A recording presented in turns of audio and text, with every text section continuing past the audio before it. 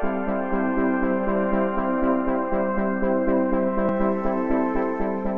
morning. I've gotten to a point where it's um, I start need to start making a list of the things that I have yet to do on the list and then prioritize them. So to do on this loon, which is to be delivered on Thursday of this week, um, I'm just going to write the list down and then I will prioritize them. So I have yet to do the um, outer edging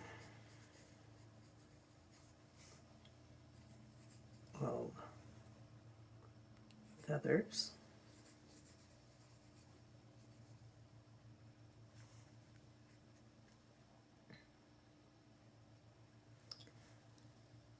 I have a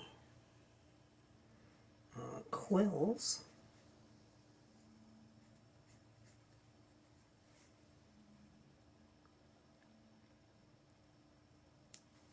I want to do some shading on the primaries.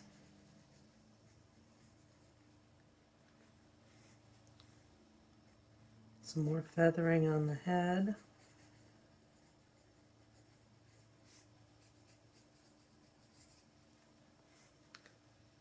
and a um, third pass of whites.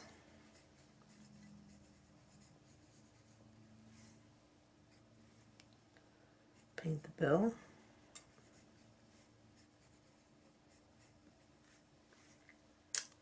And um, tail feathers.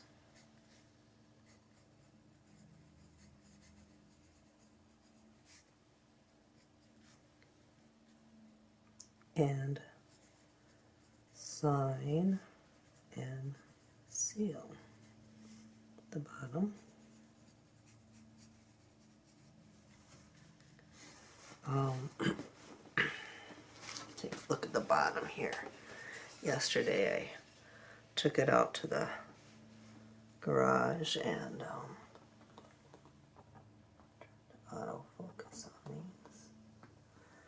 Um, got it nice and sanded down smooth. So today, I think what I'm going to do is it is one of my um,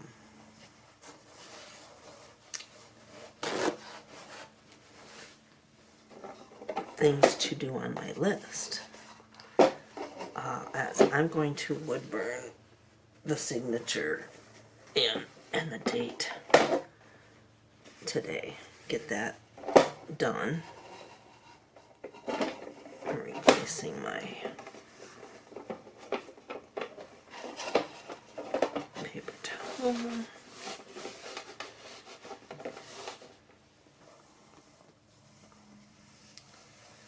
So I thought that I would um, give you a demonstration on how I uh, sign my bills. I'm just noticing a little chunk of paint.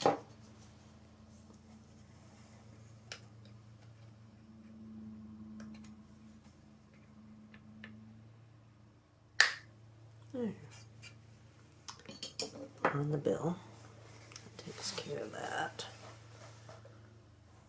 So I decide which way I want this bird to be held so that I can make a decision on uh, which way to sign it on the bottom. And I've found that using a ruler as a guide, I know where my center line is.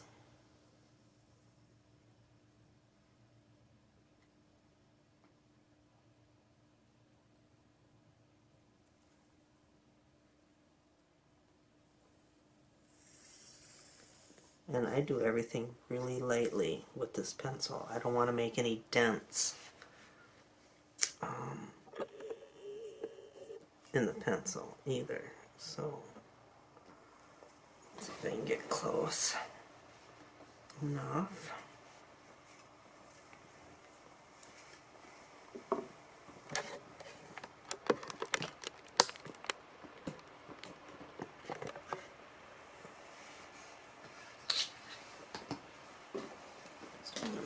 Adjustment to this camera so that it can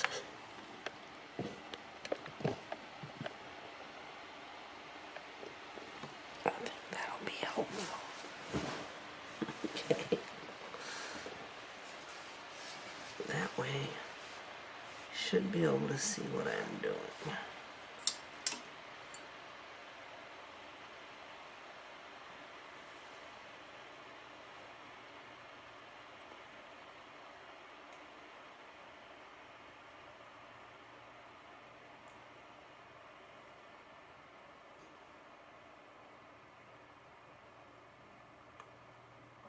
Setting my points of focus.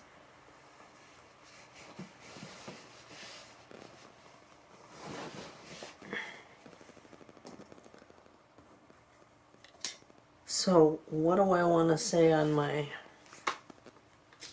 the bottom of my bird? Generally speaking, I say common loon and then I let's say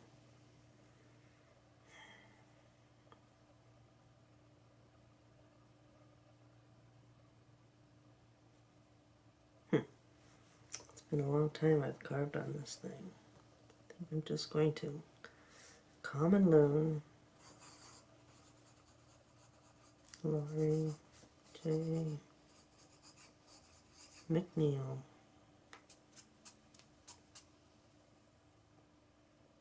Maybe I'll do.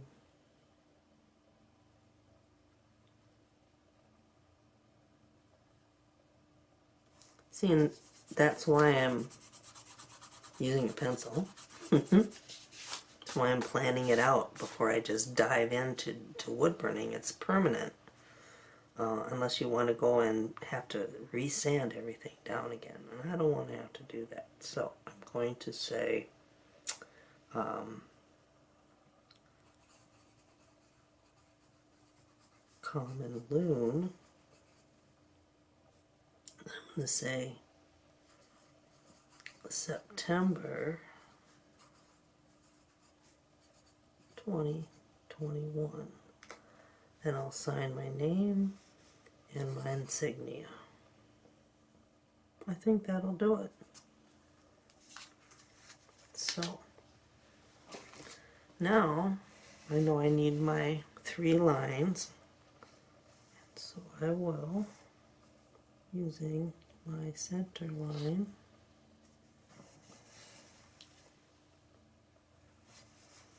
I need to adjust just a little bit.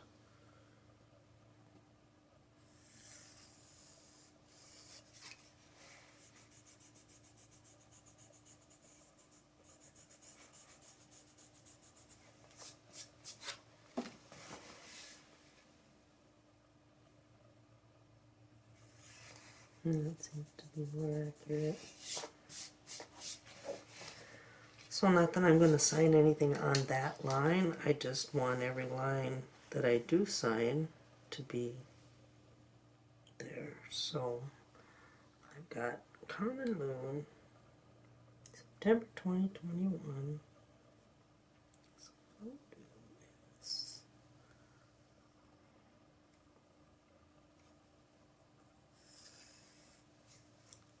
line there. I'm using the lines of this transparent ruler.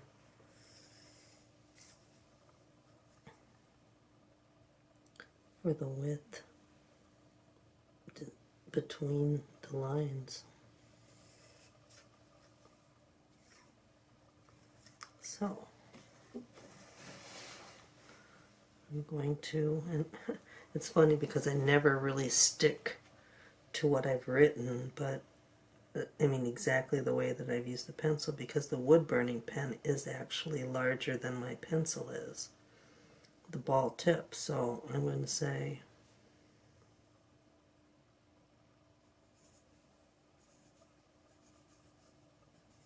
and I leave a little bit of extra space in between each letter to compensate for that. Common loon.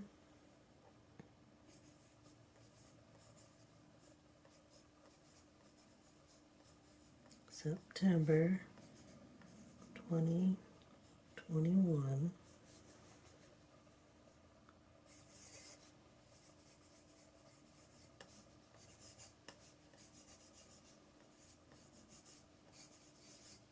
Laurie J. McNeil and my insignia. So that's the plan with the pencil. It's not easy to see. Maybe I can get it to focus back. Show here. Oops. Watch that bill. And then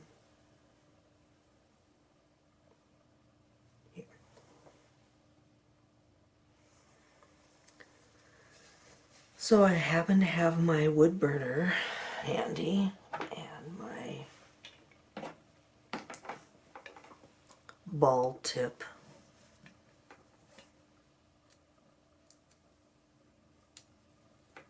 Last time I used it, it was on something that had already been sealed, so it has a little bit of residue on it.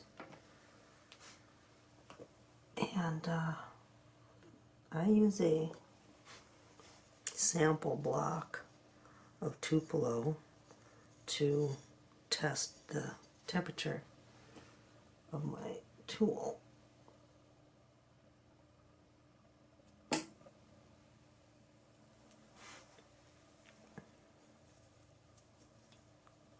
it a couple seconds to heat up. I have it on 7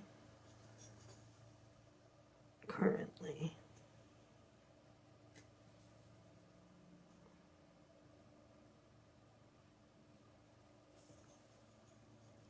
Give it more minutes. Not even minutes, but seconds. Let's see how we got here.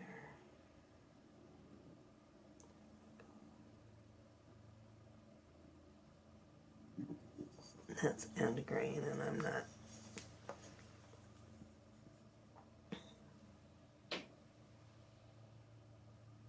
You don't get it hot enough.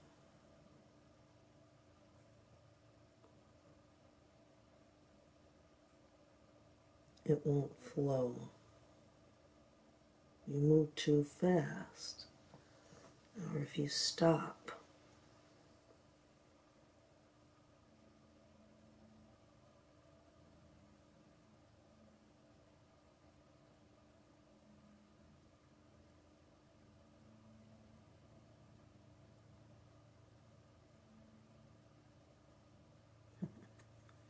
Alright, so I think I'm going to have to turn it up just a titch and move it up to 8.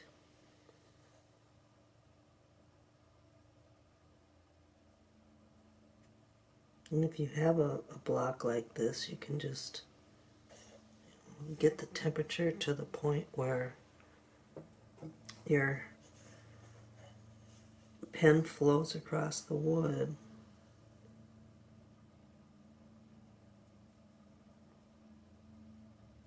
And you don't ever want to have to come back and sand it. You don't want to go over it twice. If you can help it. Sometimes you have to. Um, but if you work at the right temperature and at the right speed, you can get a, a good sign.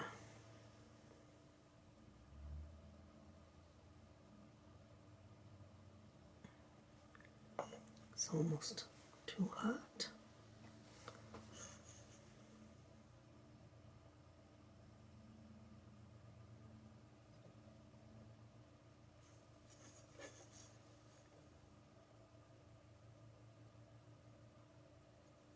Okay, I'm liking that better. So, always a deep breath.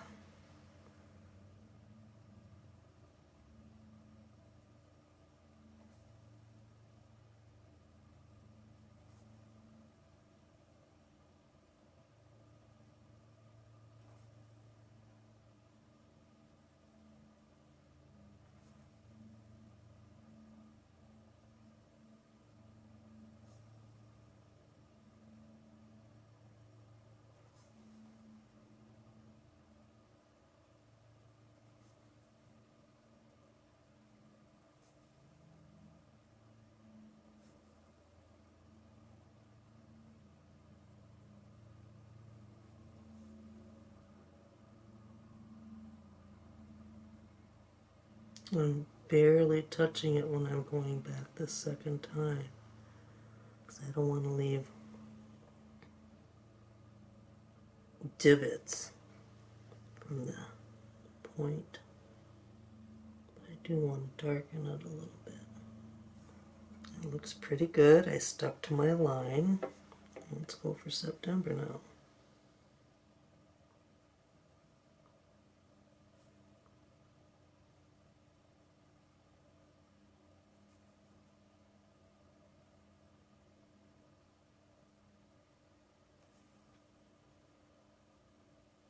It gets hot on your finger.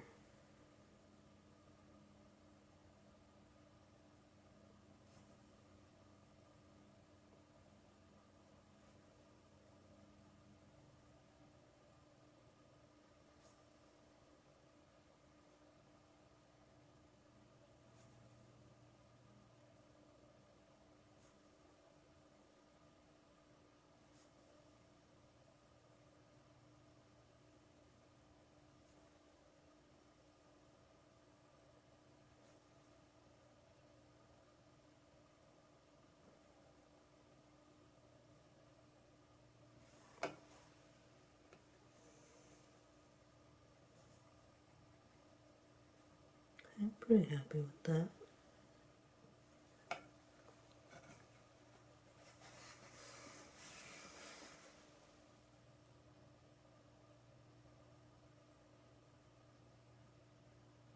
And if you don't move fast enough, you get a scorch. So keep that in mind. You don't want to have to come back and sand this at all. Whacking that bit. All right. Now for my name.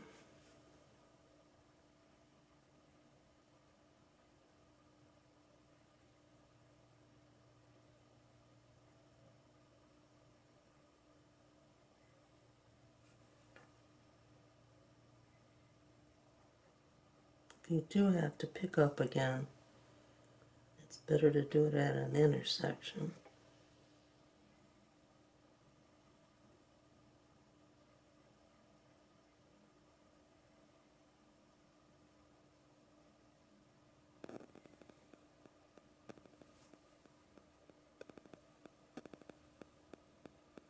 Sometimes the grain wants to take control.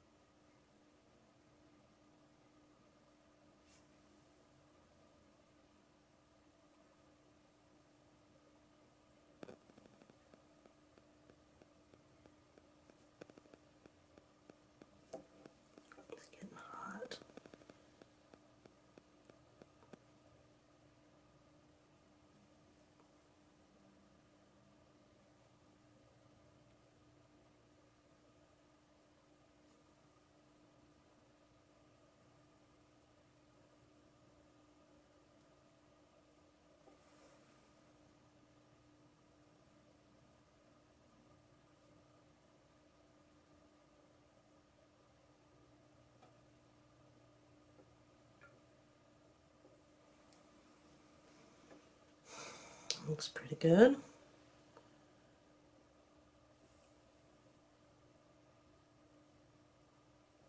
What happens is if you go back and burn over it like a second time, as hard as you did the first time, instead of like lightly taking care of any anomalies like I'm doing, um, you end up wanting to sand it.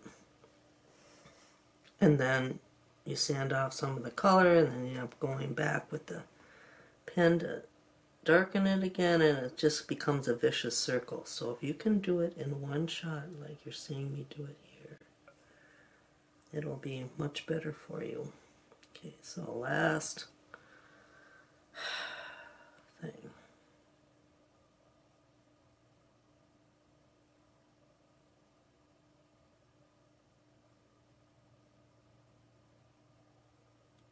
I can lay it down. I'm creating this groove that I'll be able to follow.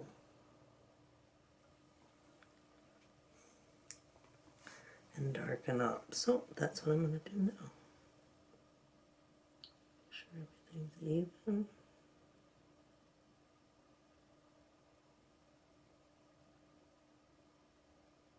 I've been using this insignia since I was in high school. On all my artwork. Sometimes it's the only thing you'll see. You won't see my name because there wasn't an appropriate place to sign my name. But if you find this insignia somewhere on the bird, hidden under the tail, or in another place, you'll know it's mine straighten some of these out.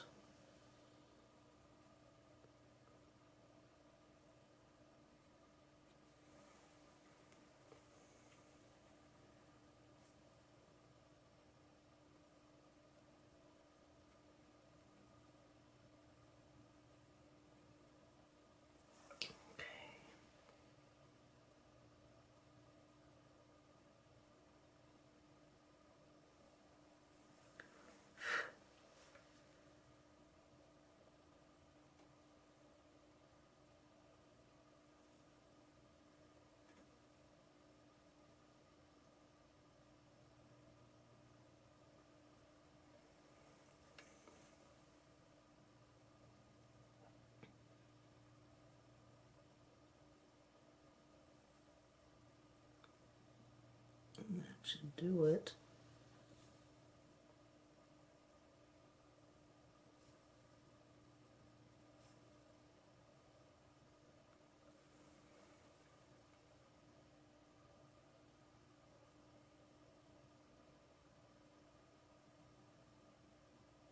Now, the other thing that's important to do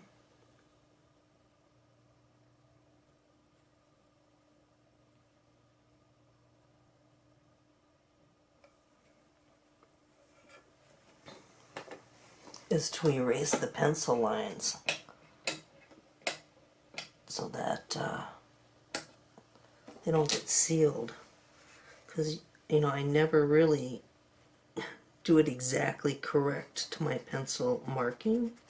It's very close. But, you know, don't want to go back and leave the pencil lines that guided me.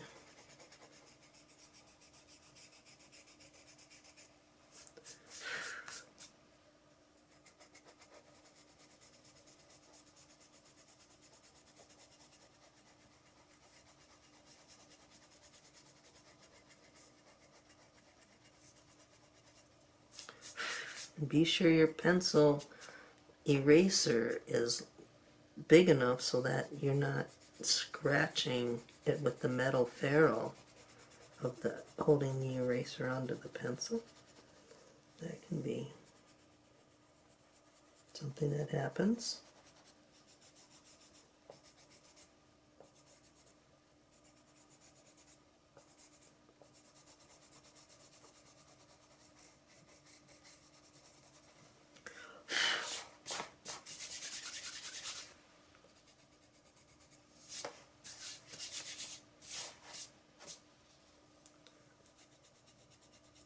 One of the people who signs signed his work. His keels, he did remarks, Tanpernay.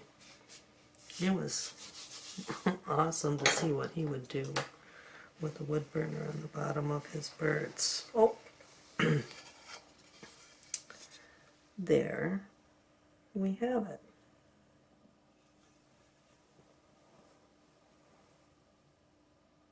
I'm pretty pleased with that. So, and why did I do that now? Well, I'm getting pretty close to being done, even though this list seems to be a little daunting. But if I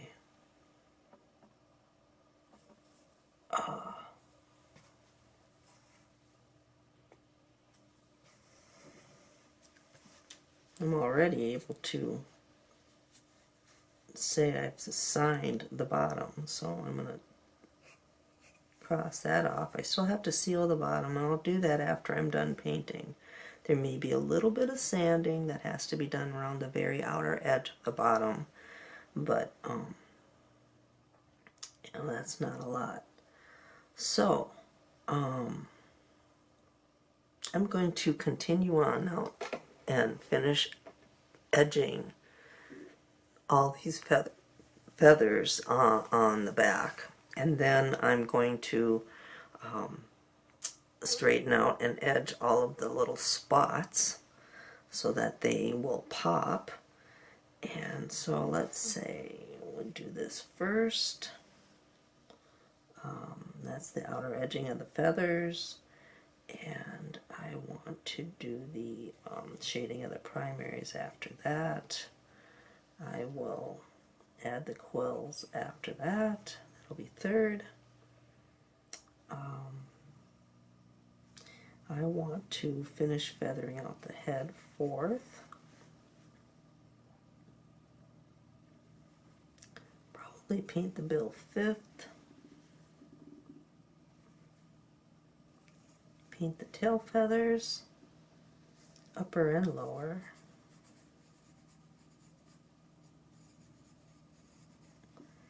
And then the last thing I'll be doing is the um, third pass of whites everywhere to give us a nice white solid look to the whites. So that'll be number seven.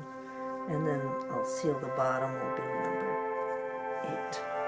So that's pretty good.